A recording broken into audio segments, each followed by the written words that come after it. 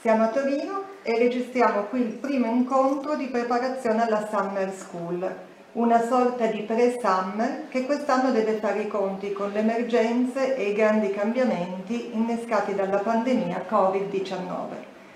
Oggi, appunto il primo incontro, affronteremo temi di carattere più generale insieme a Gustavo Zagrebelski, che non ha bisogno di grandi presentazioni perché è molto noto, è professore emerito di diritto costituzionale dell'Università di Torino, collaboratore del quotidiano La Repubblica e lo ringrazio moltissimo sia a nome dell'Istituto della Resistenza di Torino sia a nome dell'Istituto Ferruccio Pari per averci dato la sua disponibilità in questo, in questo momento e comincerei a porgergli subito la domanda più generale, ma dato il momento, diciamo quella ineludibile. Parliamo di emergenze.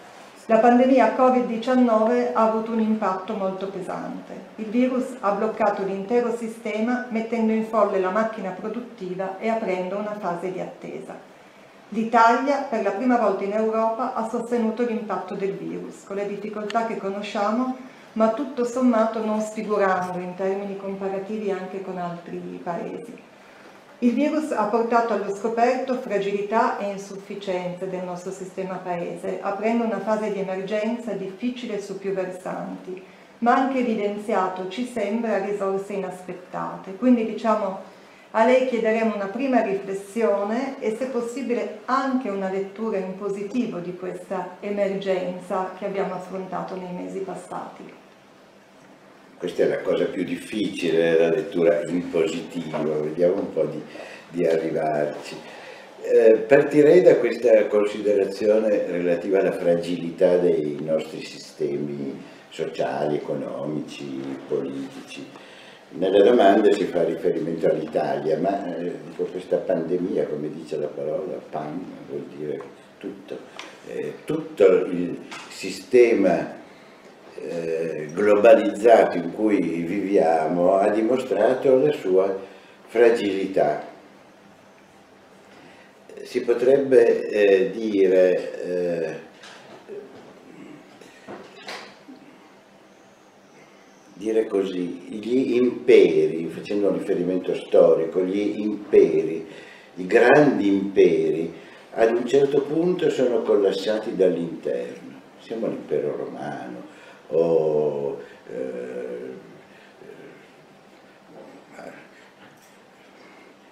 nei, nei, secoli lontani l'impero dei, dei, mongoli che eh, occupava praticamente l'intera, l'intera, l'intera Asia.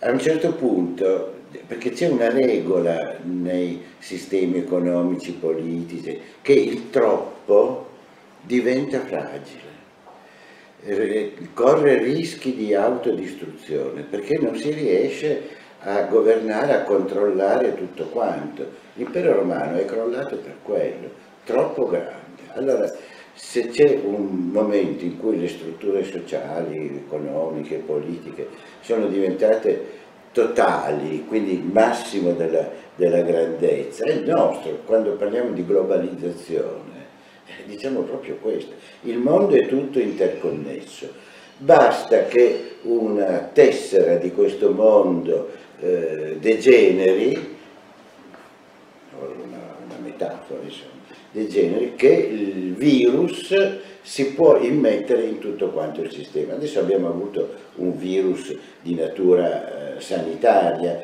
ma pensiamo a cosa succede, potrebbe succedere se un virus entrasse nei sistemi informatici mondiali. Sarebbe un crollo, sarebbe eh, la fine di un mondo. Non erano così fragili i mondi in cui esistevano tanti submondi, per così dire, non interconnessi e non inter, interdipendenti.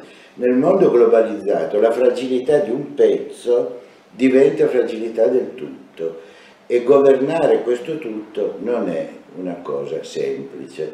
Abbiamo sviluppato tecnologie, ma le tecnologie eh, hanno un lato positivo, eh, eh, come vediamo le tecnologie mediche adesso, però al, il mondo della tecnologia presenta anche degli aspetti negativi, perché per esempio si dice che questa pandemia è stata determinata da uno sfruttamento intensivo dei beni della terra e questo sfruttamento intensivo con che cosa si fa se non con gli strumenti tecnici, con la tecnologia. Quindi siamo in un momento di, di grande eh, fragilità globale. Eh, C'è un libro, se, se un'indicazione mm, bibliografica può essere utile, che è un classico su questi temi di qualche anno fa di Ulrich Beck, La società del rischio, Carocci editore, 2003 mi pare. Siamo precisi, no? facendo il mio mestiere bisogna... È intitolato La società del rischio e parla eh, precisamente di questo tema, del, del troppo che diventa fragile. E noi siamo partiti dall'idea nei primi anni della globalizzazione che quello sarebbe stato il sistema perfetto. Vi ricordate quando si diceva che eh, il mondo globalizzato coincideva con la fine della storia, cioè diciamo, la costruzione finale del mondo, dopo la quale non ci sarebbe stato imprevisto, cioè non ci sarebbero state eh, avventure, non ci sarebbero state fragilità e invece ci accorgiamo che è proprio il contrario. Allora, eh, su questo primo punto, cioè fare i conti con eh, la, la, dimensione eccessiva che comporta rischi eccessivi, che cosa fare? Eh, beh, Naturalmente c'è una risposta diciamo così sovranista, chiudiamo le, le, frontiere, stiamo tra di noi, evitiamo gli scambi, credo che questa sia una eh, scambi di cose di, di, persone, credo che sia un, una prospettiva eh, impossibile a meno di un crollo, dove, eh, di un crollo totale dove davvero eh, i mezzi della sopravvivenza saranno legati al, al, proprio orto, alla gallina che terremo in casa per farci fare le uova fresche, ma se non, se non sarà così bisognerà forse ripensare alle interdipendenze, cioè eh una delle grandi fragilità sta nel fatto che nei cicli produttivi non c'è quasi più eh, impresa che produce totalmente il suo prodotto, ma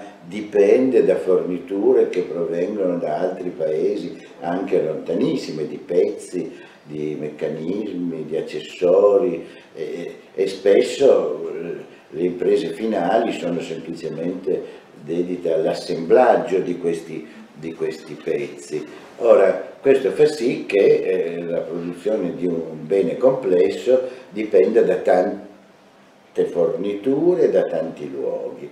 Ecco, forse sarebbe bene pensare a eh, strutture eh, economico-finanziarie più, diciamo, più limitate e più autosufficienti. Ecco, questo potrebbe essere un, uno, un obiettivo. Ho eh, una considerazione, vabbè, che, che l'Italia abbia fatto tutto sommato la sua buona figura nel concerto eh, mondiale, cioè, si dice forse esagerando che il, il modello italiano di reazione al, al, virus è stato copiato in tutta Europa, salvo l'Inghilterra, ma forse si sta un po' esagerando nel senso che contro le pandemie ci sono due strumenti classici, da, dalle pesti bubboniche dei secoli, cioè non, non respirarsi addosso, non toccarsi e quindi distanziarsi o usare questi, strumenti. C'è molto da... Eh, certo ci vuole un certo coraggio politico a eh, eh, imporre il divieto di circolazione per settimane fuori dal proprio comune di, di residenza. Ma questa è un'altra questione, diciamo il modello, l'Italia non ha inventato nulla, il governo ha eh, gestito queste, eh, questo tema eh, con contraddizioni, incertezze, ma anche con una certa eh, decisione che ha fatto sì che l'Italia tutto sommato non si trovi mh, mm, al, al, vertice delle cose negative come succede purtroppo spesso in altri campi. E, ehm, e va bene, quindi eh, siamo contenti di quello che è avvenuto in Italia, siamo contenti anche delle reazioni dei nostri concittadini che per lo più, soprattutto nella prima fase di questa pandemia, si sono comportati con una, un notevole senso di responsabilità, mi pare, questo è riconosciuto, è riconosciuto da tutti.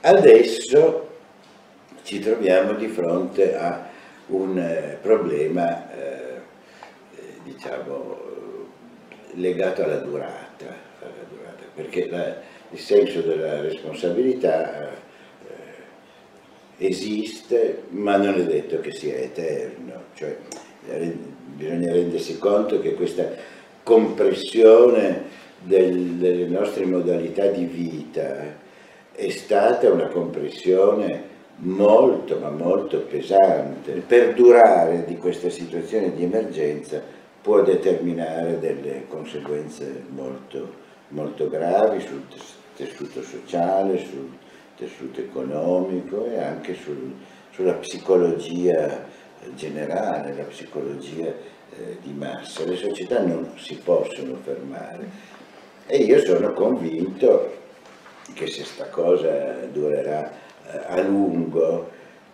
quel senso di responsabilità di cui portiamo il vanto dei mesi scorsi, verrà meno e anche le prescrizioni del governo eh, saranno superate nei fatti. Già lo vediamo in alcune zone d'Italia.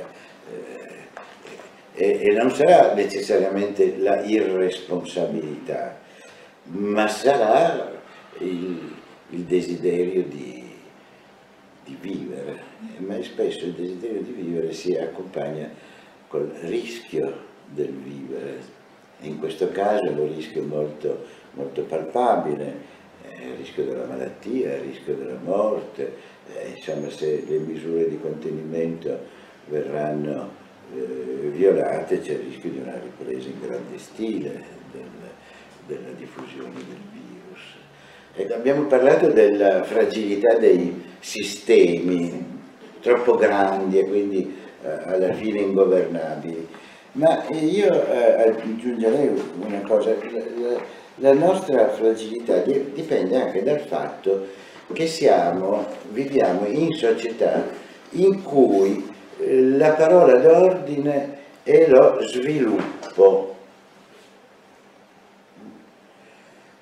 Sviluppo vuol dire impiego immediato di tutte le risorse disponibili, da cui lo sfruttamento delle risorse naturali, la crisi ecologica, eccetera, eccetera. Ecco, eh, voi ricordate quel passo del, dell'Antico Testamento su cui ha scritto Thomas Mann, Giuseppe e i suoi fratelli, in Egitto, in Egitto si, succede, si succedevano, si dice così, periodi di abbondanza e periodi di carenza, di, di, di, di beni di sussistenza, come si dice, di carestie. Carestie, ecco. Le, I sette anni delle vacche grasse i sette anni delle vacche magre. Bene, in quella società che cosa si faceva? per affrontare i sette anni delle vacche magre. Nel periodo delle vacche grasse si accantonavano risorse da utilizzare nel periodo buio, che si sapeva che sarebbe arrivato. Noi abbiamo vissuto in un tempo in cui abbiamo immaginato che i periodi bui fossero sconfitti. Ecco, invece la pandemia ci rammenta questa regola fondamentale, diciamo l'andamento ciclico della storia, eh, segno positivo, segno negativo, segno positivo, segno negativo. Allora, forse una delle grandi lezioni di questa eh, fase è questa. Noi abbiamo abbandonato l'idea dell'accantonamento, dell'accantonamento in vista di accantonamento di risorse economiche prima di tutto, di beni, di consumo. Una volta c'erano i granai no, che si riempivano per... e eh, questa mm, ideologia dello sviluppo, dello sviluppo ad ogni costo, della concorrenza con altri sistemi economici all'interno dei medesimi sistemi economici. E eh, si capisce facilmente, è del tutto autoevidente che è in contrasto con l'idea dell'accantonamento, perché lo sviluppo, lo sviluppo eh, progressivo, sempre più veloce, per, esige che tutte le risorse siano messe a frutto, dunque nulla sia messo in disparte. Ora, è io... uno sviluppo senza progetto di sviluppo, no? Forse è anche un po' quello. Sì, che... senza, eh, certo, perché se uno dice progetto in, vuol dire indicare dei fini ma anche dei confini. Eh, mi viene questo bel gioco di parole. Eh, cosa che non c'è, cioè se, se noi consideriamo come progetto il solo sviluppo, capiamo facilmente che è uno sviluppo cieco, non si sa dove, dove possa essere portato. Ora, dicevo, è difficile immaginare che adesso noi costruiamo granai, eh, si mettano, eh, si surgelino prodotti alimentari vista di... Però la forma attuale dell'accantonamento e eh, l'investimento in servizi rivolti alla tutela di quei beni che vengono messi eh, a rischio. Per esempio gli ospedali, ecco, tanto per rimanere eh, sul nostro tema, gli ospedali si sono dimostrati insufficienti, le strutture sanitarie si sono dimostrate insufficienti ma perché? Forse erano già insufficienti in generale, soprattutto in certe regioni del nostro paese, ma adesso si sono dimostrati drammaticamente insufficienti. Ma perché? Perché erano progettati tenendo conto delle esigenze sanitarie del periodo delle vacche grasse. Ecco, per cui eh, si sarebbe detto che era inutile creare posti letti, posti letto, strutture sanitarie, personale in eccesso, in eccesso rispetto al periodo positivo, ma che sarebbero diventati indispensabili eh, nel periodo negativo. Ecco, questo vuol dire, secondo me, eh, l'accantonamento, avere presente che ci sono delle risorse da spendere senza un ritorno immediato, ma che sarebbero poi indispensabili nell'ipotesi in cui il trend, diciamo il pendolo, passasse dall'altra parte. E questo però è davvero un, un, un punto al quale io tengo molto perché presuppone un cambiamento di mentalità nostra, dei governanti, nella cultura, è un altro modo di vedere. Noi eh, siamo figli di due secoli in cui lo sviluppo, eh, l'innovazione, sviluppo, tutto eh, è stata l'ideologia eh, dominante, ma ideologia valida forse nell'immediato, ma non, che non tiene conto di queste, di queste minacce che ci stanno ci stanno ci stanno sopra o ci stanno sotto, non lo so. Eh, uno potrebbe dire che ci stanno sotto nel senso che siamo seduti su dei vulcani che possono eh, eruttare lava incandescente in qualunque momento.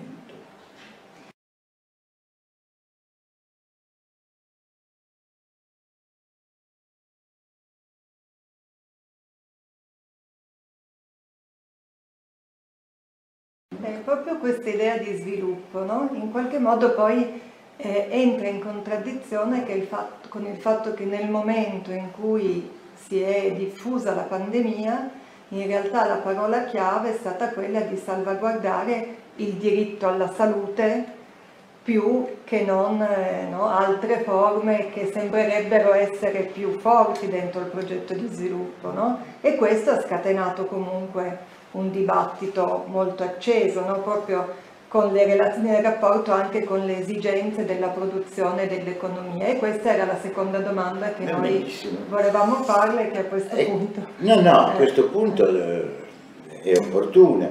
Allora, qui io, eh, per non parlare a Vandera come ho fatto finora, mm, faccio il mio mestiere da costituzionalista. Allora, in sintesi la domanda che lei mi ha fatto potrebbe eh, esprimersi così, c'è un diritto alla salute, ma ci sono anche altri diritti. Come si combinano questi due aspetti della situazione attuale, eh, tenendo conto che eh, eh non sono eh, diritti concorrenti che concorrono, ma sono diritti che possono confliggere l'uno con l'altro. Allora, la, Costituzione parla del diritto alla salute e, e, usa questa parola solo con riguardo al diritto alla salute, articolo 32, aggiungo diritto dovere, mm? adesso questo forse lo possiamo approfondire. Comunque il diritto viene proclamato inviolabile, solo questo diritto ha il privilegio di vedersi appiccicate a queste parole, o fondamentali, inviolabili o fondamentali, comunque non cambia, non cambia molto. Ma lo capiamo bene, eh, se non c'è il diritto alla salute, diritto universale, mm, eh, sulla base dell'idea della universalità di questo diritto è stato istituito ancora negli anni, negli anni 80 il Servizio Sanitario Nazionale, che che vale per tutti, cioè eh, dietro a questa idea c'è eh, l'esigenza di considerare la salute un bene di tutti indipendente dalla eh, disponibilità di risorse finanziarie. Eh, se c'è un campo in cui c'è un rischio eh, che le differenze sociali, differenze di disponibilità economica si nel, nel modo, si manifestino nel modo più evidente e nel modo più crudele è proprio la salute. Perché il diritto alla salute è un diritto fondamentale? Perché dietro la salute c'è la sopravvivenza, c'è la vita e la morte.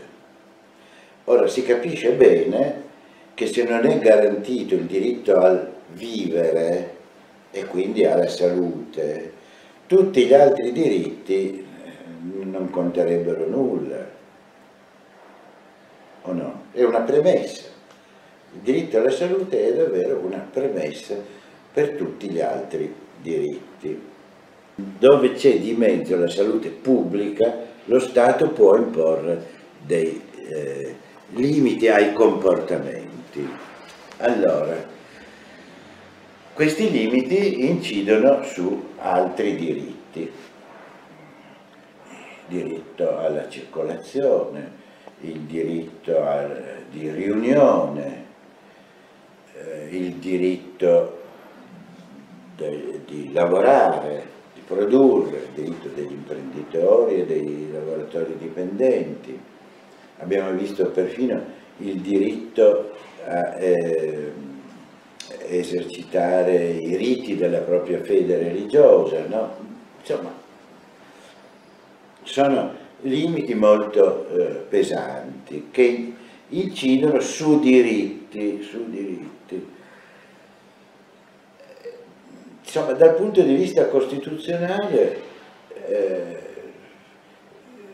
secondo me non ci sono problemi, cioè eh, purché le restrizioni siano strettamente finalizzate alla tutela del diritto alla salute in generale, siano proporzionate, siano rispettose della dignità umana.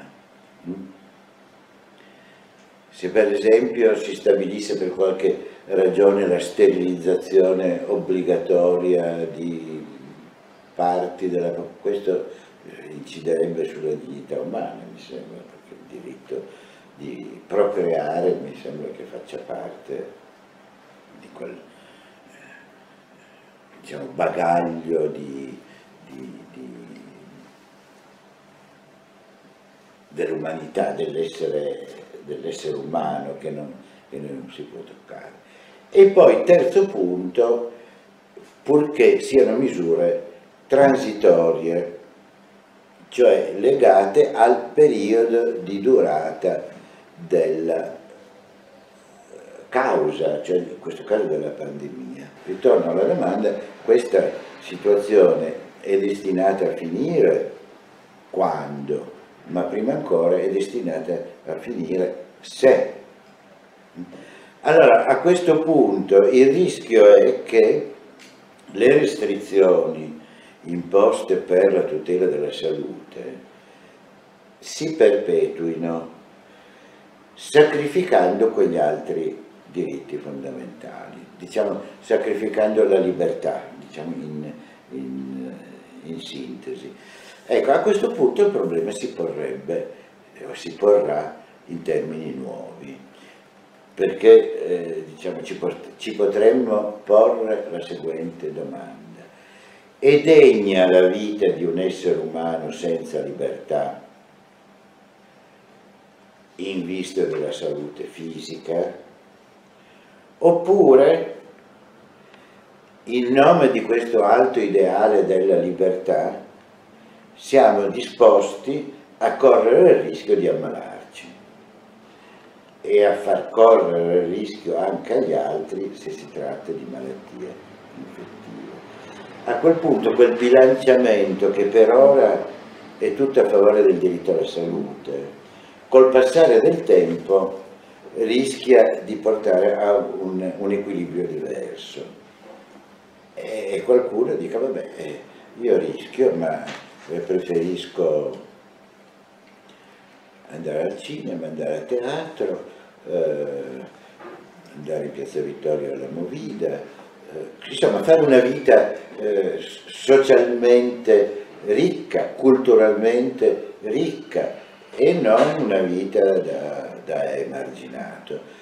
Eh, questo potrebbe porsi sia come problema giuridico, sia come problema legislativo, ma io credo che si porrà come problema di fatto, cioè la gente che non ne può più delle costrizioni violerà, cioè considererà irrilevanti per la propria attività, il proprio modo di vivere, quello che viene detto dagli organi eh, di governo, cosa che del resto sta già in parte avvenendo.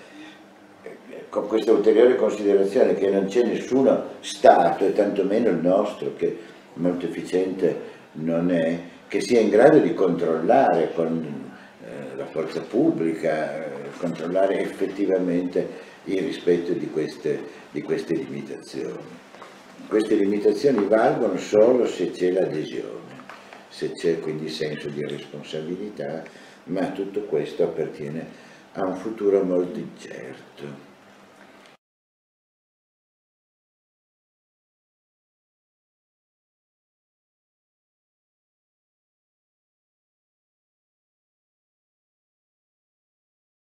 Allora arriverei all'ultima domanda, che è quella che poi ci porta più nel vivo poi del lavoro che noi faremo con gli insegnanti. No? Allora l'altro diritto che in parte è venuto meno in questa condizione è stato quello all'istruzione.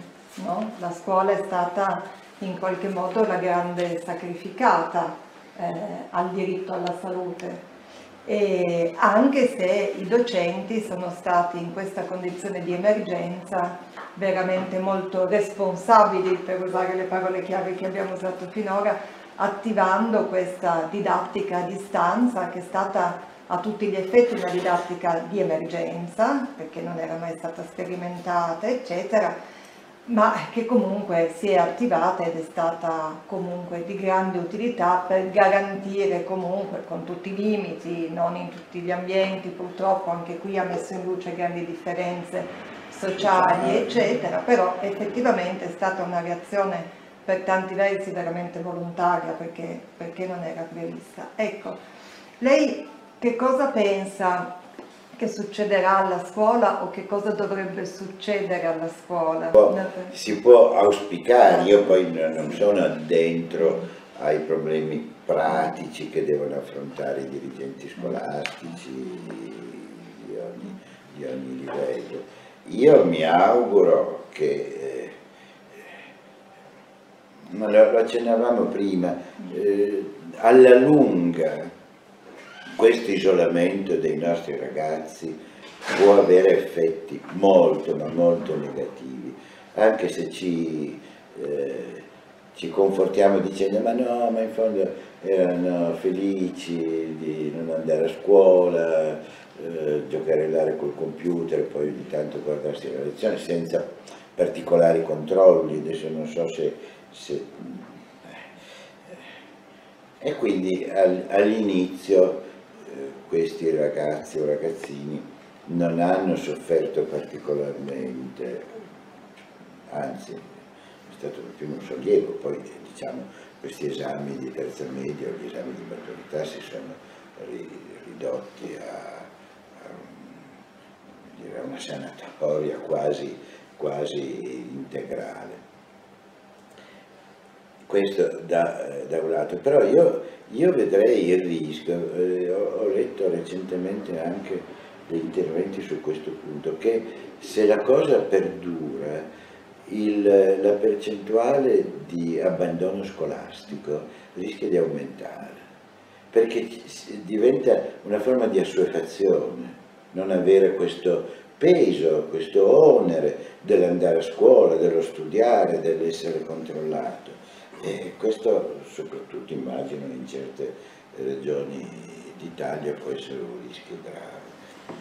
Poi c'è un problema di, uguaglianza, indubbiamente, a cominciare dal, dall'aspetto più materiale, cioè la disponibilità degli apparecchi telematici, non tutti eh, ne dispongono, eh, non tutti lo sanno usare, e poi in una famiglia dove ci sono due tre quattro eh, ragazzi che eh, dovrebbero seguire e c'è un solo apparecchio, come si fa?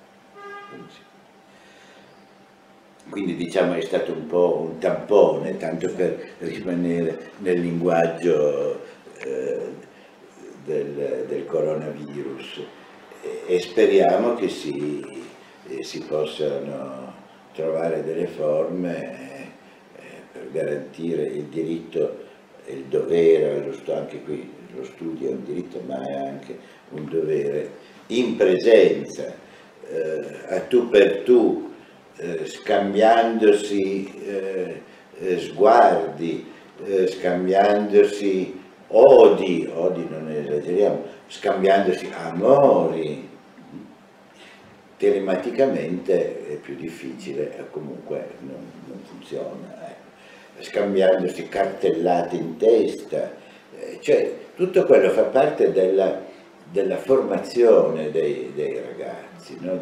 l'affrontare, l'affrontare anche difficoltà perché il rapporto sociale eh, contiene molte cose gradevoli, positive, ma anche eh, cose negative. Ecco, eh, individui che crescono crescono, speriamo che non sia così, nella loro campana, eh, diventerebbero dei, dei soggetti debolissimi, socialmente fragilissimi. E quindi credo che bisogna fare un, uno sforzo anche di investimento eh, finanziario, perché qui si rischia di eh, pregiudicare lo sviluppo di, di intere generazioni.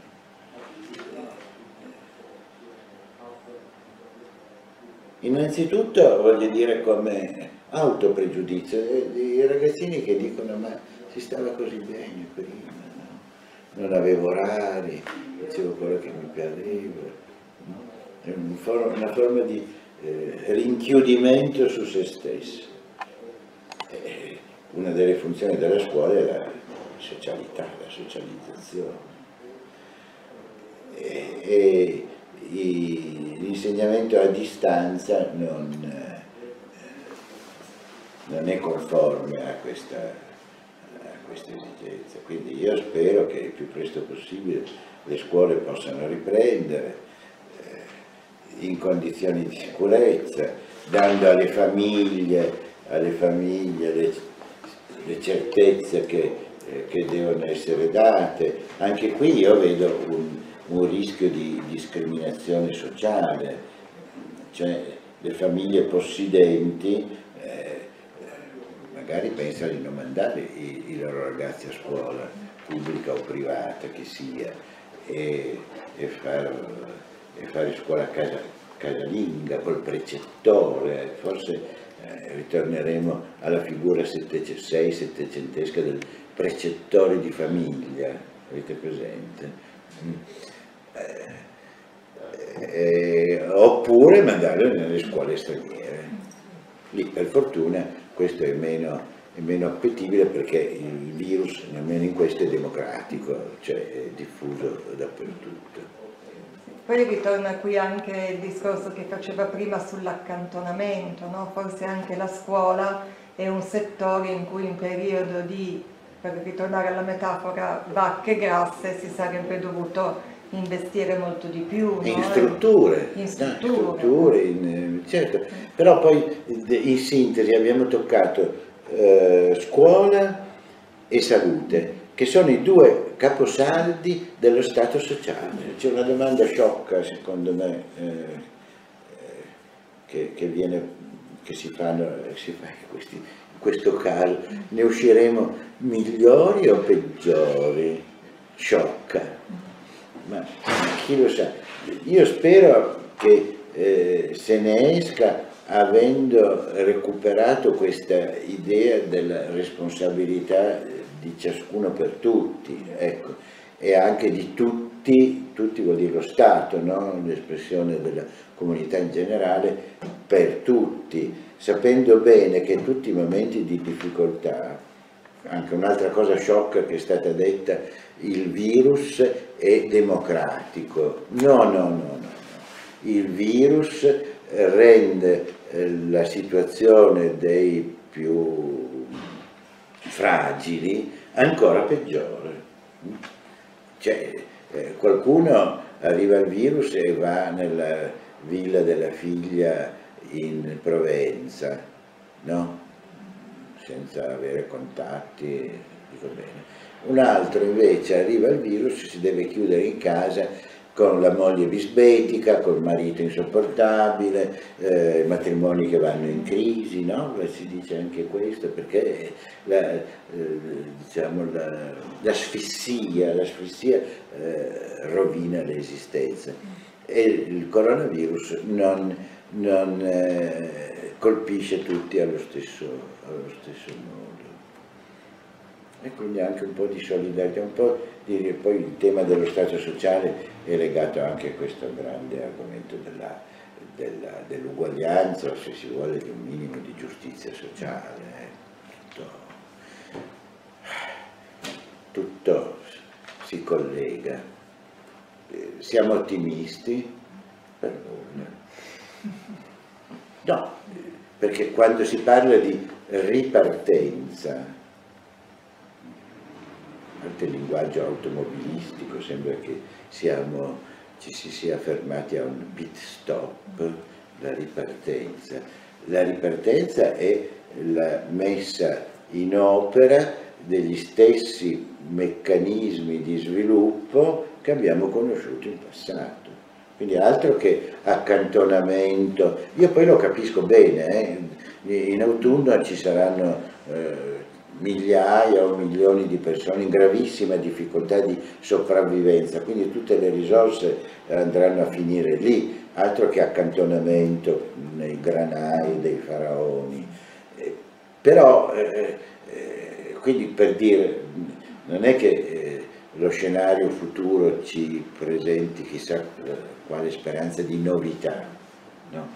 Eh, però mi pare importante, diciamo, cambiare, cambiare mentalità, guardare le cose con occhi nuovi e quindi interrogarsi, interrogarsi su ciò che è stato, sapendo bene che non c'è nessun sistema economico-sociale eh, immune dalle crisi, non, non esiste. Società del rischio.